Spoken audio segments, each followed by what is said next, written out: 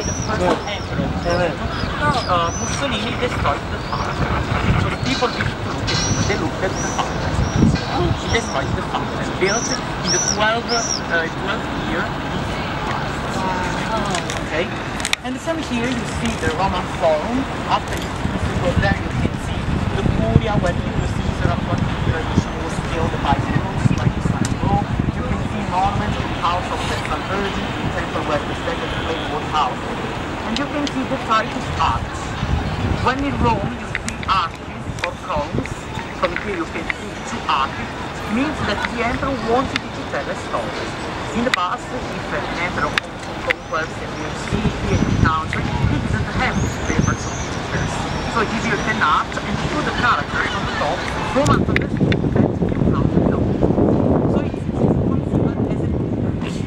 you they put the top, they put the sea characters, name, name the barrels, okay? And if you go there, you can see here enough the Titus arch, the seven branches that come out.